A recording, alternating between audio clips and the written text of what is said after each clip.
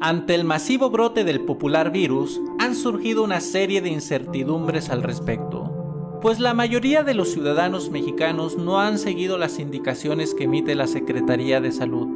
Seguramente, ante esta situación, te has planteado un sinfín de preguntas, como por qué el gobierno no ha cerrado las fronteras o qué sucederá con la economía de nuestro país. El presidente del país asegura que está siguiendo correctamente los protocolos ante la pandemia, además de contar con los recursos necesarios en el ámbito económico y de salud.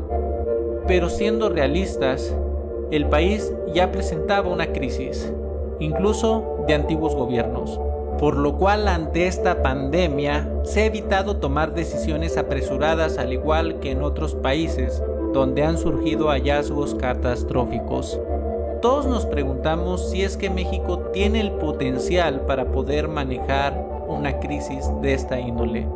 El director del Consejo Empresarial Mexicano de Comercio Exterior, Fernando Ruiz, advirtió que si se intensifica la propagación que está teniendo el virus podría afectar a todas las empresas que utilizan insumos provenientes de China, como lo son los componentes electrónicos, eléctricos y acero, entre muchos otros ya que si se paralizan los procesos productivos en la región de China, afectaría a los sectores que más exportan de México, como son el sector automotriz, aerodinámico, eléctrico, electrodoméstico, entre otros. Pues debido a la crisis que se está viviendo, muchas empresas, tanto grandes como locales, se han visto obligadas a cerrar, ya que muchas de estas no resultan esenciales en nuestras actividades. Muchos mexicanos que solo cuentan con una fuente de ingreso empiezan a vérselas difícil. Personas que tienen negocios propios, pequeños restaurantes, tiendas de ropa, etc.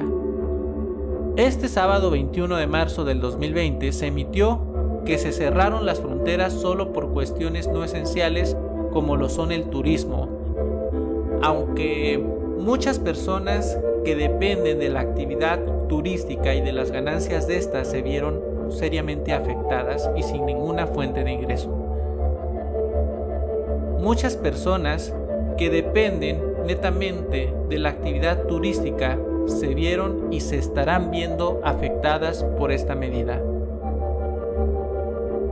Si bien es algo positivo, que nos protegeremos del coronavirus que entre al país por medio de turistas, afectará el bolsillo de muchos mexicanos que viven al día por medio de este tipo de actividades.